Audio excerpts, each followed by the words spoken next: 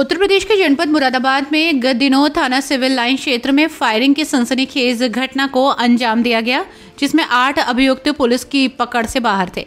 Moradabad police के द्वारा आज घटना का खुलासा करते हुए आठ आरोपियों को गिरफ़्तार कर लिया गया है, जिनके पास से पुलिस को अवैध तमंचे और कारतूस मिले हैं, साथ ही चार बाइकें भी बरामद हुई हैं। पुलिस ने प्रेस वार्ता के बाद सभी आरोपियों को जेल भेज दिया। मामला जनपद मुरादाबाद के थाना सिविल लाइन क्षेत्र का है थाना क्षेत्र के अंतर्गत हिमगिरी कॉलोनी में कुछ युवकों के द्वारा हवाई फायरिंग की गई थी, जिसके चलते अंकित नाम के युवक को छर्रे लगे थे, जिसे आनंद फानन में अस्पताल में भर्ती कराया गया था। पुलिस ने मामले का संज्ञान लिया है और मुकदमा दर्ज किया है, जिसमें आठ आरोपी वंचित थे। पुलिस ने आज कार्रवाई करते हुए सभी आठ आरोपियों को गिरफ़्तार कर लिया और उनके पास से चार मोटरसाइकिल, तीन तमंचे, बारह बोर के और एक देसी पिस्तौल, अड़तीस बोर का और कारतूस बरामद किए। पुलिस ने सभी का मेडिकल कराकर जेल भेज दिया है। ये बारह बटे तेरह की रात में थाना सिविल लाइन्स क्षेत्र में जो हिमगिरी कॉलोनी है वहाँ से सूचना प्राप्त हुई थी कि एक अंकित नाम का लड़का है जिसको कुछ छर्रे लगे हैं। पुलिस तत्काल मौके पर पहुँची थी। प्राथमिक तौर पर वहाँ ये जानकारी हुई कि यहाँ पर कुछ बाइक पर कुछ लड़के आए थे, जिन्होंने यहाँ पर आए थे फायरिंग की थी, जिसमें ये अंकित इंजर्ड हुआ है।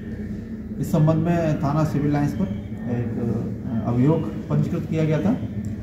धारा सैंतालीस, अड़तालीस, तीन सौ तेईस, तीन सौ बावन, तीन सौ सात, चौंतीस और सेवन सी एल के अंतर्गत। इसमें आठ अभियुक्त, जिनकी भी गिरफ्तारी हुई है सीसीटीवी कैमरा और वहाँ पर जो भी उपलब्ध अन्य साक्ष्य थे आधार पर इन लोगों की पहचान की गई थी, जिसमें प्रमुख तौर पर अभय त्यागी, अर्पित मदान आशु चौधरी, प्रशांत उर्फ़ प्रभास, नितिन सैनी, आदित्य,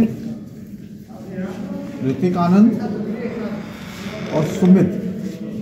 इन आठ अभियुक्त की गिरफ्तारी इस थाना सिविल लाइन्स द्वारा की गई है और इन गिरफ़्तार अभियुक्त दल के पास से तीन तमंचे बारह के और एक देसी पिस्टल। बत्तीस बोल बरामद हुई है। इनके पास से जो कारतूस इस्तेमाल किए गए थे वो ज़िंदा कारतूस भी बरामद हुए हैं। जिन बाइक से आए थे, उसमें से चार बाइक, इसमें से एक स्कूटी है और तीन मोटरसाइकिल है। ये बरामद हुई है।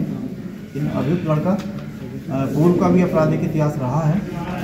इनसे जब पूछताछ की गई तो इनके द्वारा ये बताया गया कि अंकित, जिसका एक छोटा भाई राज है उसकी पूर्व में जो दूसरा पक्ष है, उसमें एक अमन लड़का है। उससे किसी बात को लेकर इनका विवाद हुआ था, झगड़ा हुआ था, जिसमें इनमें बाद में समझौता हो गया था। लेकिन इसके बाद समझौते के बाद फिर अंकित ने कभी अमन को किसी स्थान पर पकड़ के उसके संग कुछ मारपीट की थी और उसकी कोई वीडियो बनाने की बात भी बताई गई थी। इसी बात को लेकर इनकी फिर से आपस में कहासनी हो रही थी। जिस दिन घटना हुई है उस दिन बगला गाँव चौकी क्षेत्र में जो नाग पंचायत में पड़ता है वहाँ एक शादी समारोह में ये जो अमन और इसके साथी हैं वो उस कार्यक्रम में मौजूद थे। उसी समय अंकित से इनकी फ़ोन पर आ, कुछ बहस हुई और उसके बाद ये सभी लड़के अंकित के घर के पास पहुँच गए और इन्होंने वहाँ पर जाके फायरिंग की जिसमें वो इंजर्ड हुआ था।